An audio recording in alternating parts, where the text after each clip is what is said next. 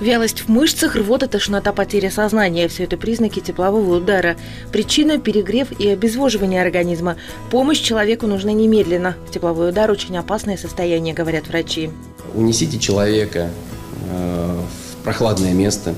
По возможности снимите с него одежду, особенно та, которая облегает или стягивает. Э, обмотайте его чем-то мокрым в идеале мокрой простыней, которую периодически меняете.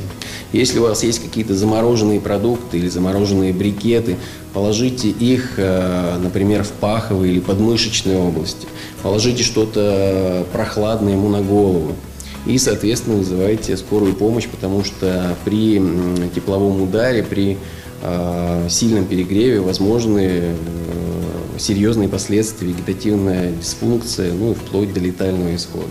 Для профилактики теплового удара носите э, обязательно на голове панаму, шапочку или что-то подобное. Обязательно обильно пейте.